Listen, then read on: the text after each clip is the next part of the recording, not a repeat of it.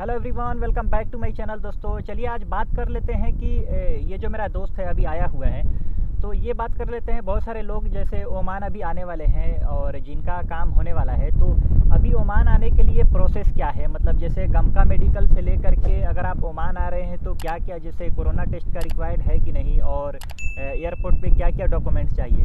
तो मैं सोचा कि एक वीडियो साथ में बना दूँ जिससे कि इन लोग का हेल्प हो जाएगा जो लोग आने वाले हैं वो लोग इधर उधर पूछते रहते हैं। और कमेंट में ऐसे भी मेरे पास आते रहता है कि ओमान आने के लिए क्या क्या डॉक्यूमेंट चाहिए कोरोना टेस्ट कराना है कि नहीं कराना है मेडिकल का प्रोसेस क्या है? तो फारूक एक बार तुम बता दो ताकि जो लोग नए हैं हम्म, हम्म। या जो पुराने भी हैं जो आने वाले हैं उनको थोड़ा सा हेल्प हो जाएगा। बिल्कुल। तो ओमान आने का प्रोसेस ये है कि सबसे पहले जब आपका काम होता है किसी एजेंट के थ्रू या ऑफ़िस के थ्रू तो आपको वो कहेंगे कि आप गम का मेडिकल कराइए। तो गम का मेडिकल के लिए एक स्लिप करता है जो आपको जो काटता है एजेंट वो एक हज़ार के करीब रुपया लेता है। गम का मेडिकल का स्लिप मतलब क्या खुद से ऑनलाइन भी कर सकते हैं या कोई एजेंट हाँ, जो खुद से भी कर सकते हैं अगर आप फ़ोन पे वगैरह चलाते हैं तो आप उसको यूट्यूब में देख सकते हैं कि कैसे काटते हैं अच्छा, उसको अच्छा। सीख के और फिर आप ऑनलाइन पेमेंट कर सकते हैं तो आप भी काट सकते हैं खुद से ही ठीक है? और वो एक दो सौ ज़्यादा चार्ज लेता है हम्म, हम्म। जो एजेंट काटता है। तो ये आपके ऊपर है कि अगर आप काट सकते हैं तो खुद से भी काट लें और नहीं तो आप एजेंट से भी करा सकते हैं। ठीक है।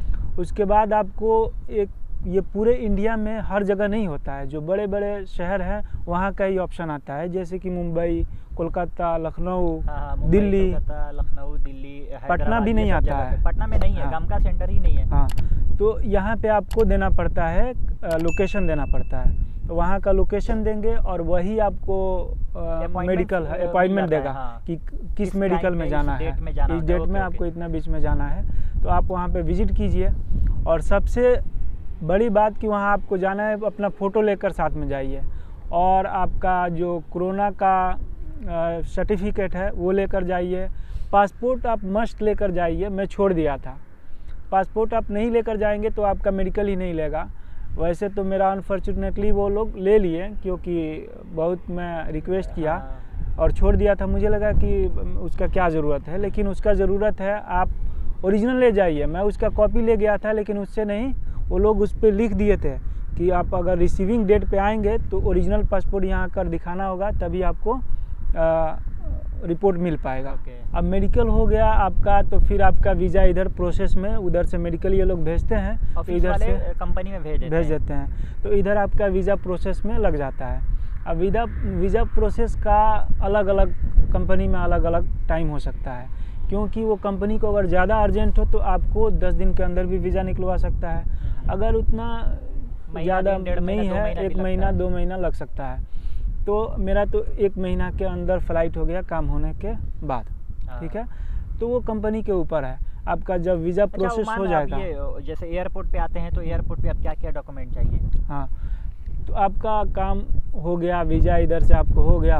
तो अब जब आपको टिकट वो दे कंपनी वाले ऑफ़िस वाले देंगे टिकट आपको तो बहुत सारे ऑफ़िस वाले हैं आपको कहेंगे कि R T P C R test करा लो उसका जाकर एक हज़ार रुपया जमा कर देना।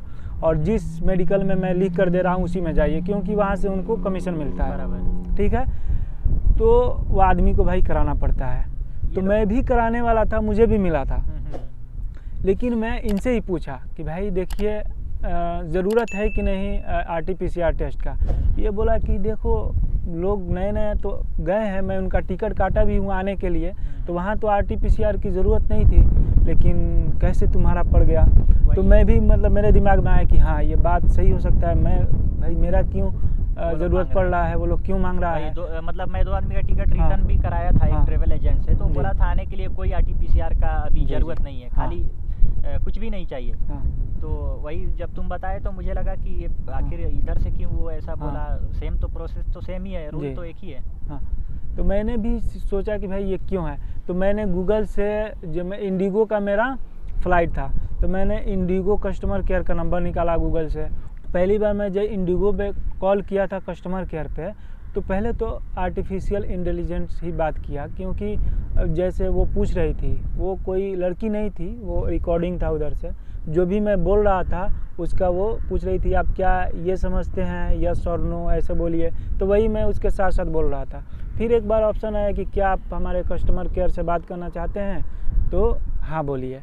ऐसे तो मैंने हाँ बोला तो फिर वो अपने आप कॉल लग गया।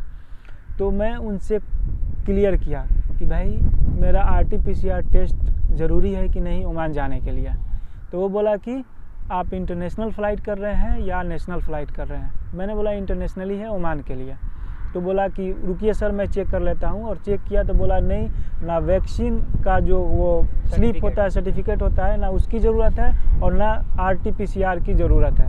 तो अगर आपको भी अगर एजेंट कहता है कि भाई R T P C R का आ, टेस्ट करा लो ले जाओ वहाँ एयरपोर्ट पे लगेगा ओमान के लिए तो आप नहीं कराएँ क्योंकि वो लोग अपना कमीशन के लिए कहता है इसका कोई ज़रूरत नहीं है मतलब फ़िलहाल। ऐसा ज़रूरत नहीं है। बाद में अगर आप वीडियो बाद में देख रहे हैं तो आप पता कर लीजिए। हाँ, पता कर लीजिए। ठीक है? ठीक है ओके। तो फ़िलहाल बस इतना ही चाहिए। गम का मेडिकल का प्रोसेस हो गया और यहाँ आने के लिए ओनली पासपोर्ट और जो वीज़ा हाँ। का वीज़ा का कॉपी चाहिए हाँ, वीज़ा का कॉपी रहता है। यही दो चीज़ चाहिए